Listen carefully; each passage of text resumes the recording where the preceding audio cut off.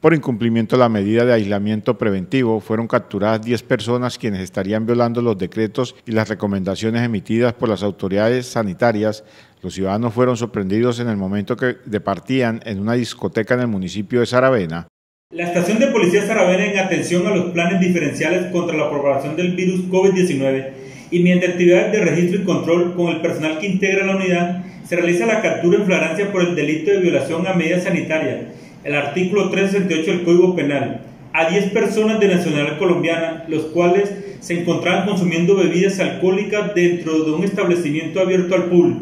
sin contar con ningún tipo de protección ni elementos de bioseguridad para la prevención y propagación del virus.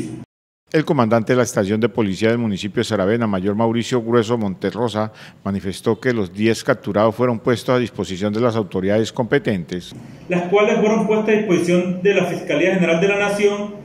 y se realizaron 10 órdenes de comparendo por infracción a la Ley 1801 de 2016, Código de Convivencia y Seguridad Ciudadana. Igualmente se realizó la suspensión temporal de la actividad del establecimiento público por incumplimiento del decreto municipal 055 del 17 de junio del presente año. La Policía Nacional en el operativo de control capturó tres mujeres y siete hombres, entre ellos el administrador del establecimiento, a quien además se le puso un comparendo para suspender la actividad económica del lugar de manera temporal, ya que éste estaría violando la ley 1801 y el decreto municipal 055 del 2020.